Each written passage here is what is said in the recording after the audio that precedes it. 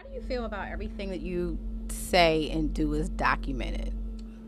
I mean, it's cool. Like I, I don't, I don't take myself so serious. So I don't care if, if if people take everything that I'm doing, you know, serious. Like I enjoy myself at some points, or like like when when do you just do you just relax? Like if, if I say something on Instagram, like everyone else does at least, now people communicating through photographs, mm-hmm. and they they actually would make their comments, genuine comments back and forth, so you can identify with with what their thoughts are, how their day's going by looking at the things that they you know they're posting, and then if if I'm not having a good day and you say something, am I not okay? I know there's no sympathy for winners, so whenever you see someone in a position that you feel like is is doing well, then you go.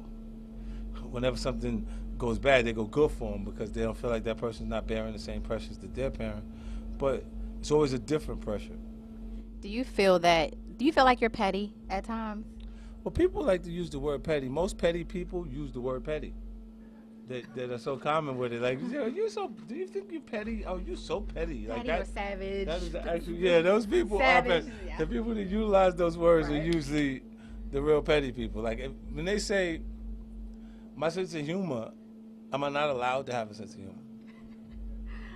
You feel what Yeah. I'm saying? Because I, I can keep it straight business and, and don't really offer anything for entertainment purposes for the masses, and just leave that feed.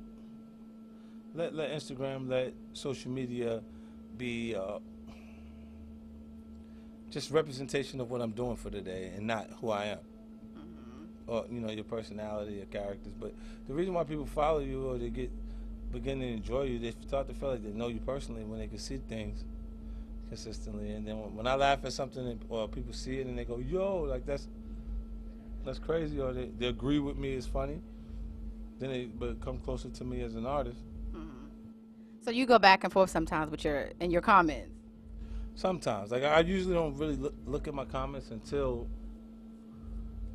like Saturday evening, mm-hmm. like after twelve o'clock, because the show would have aired at that right. point, and I want to see how you know how they respond, like what their response is, because a lot of that even when I go to do in stores, like today I was in, I went to a store in D.C. Well, Baltimore. I was in Maryland, and um, when I was out there, like the, the demo's older like people come out there a little more older and, and it's, it's like it's the power film and television or people who have come across me over the years that are a little they're not 21 just made the legal drinking age and at the nightclub Right. tonight their life is more established and that because they've grown to the point that they would make the purchase and put the, the liquor in the cabinet and then just have a drink when the occasion came you know it's, it's convenient for them to go to come meet me at the liquor store That's a, a genius marketing idea. Nobody else has done that. So congratulations, sir. How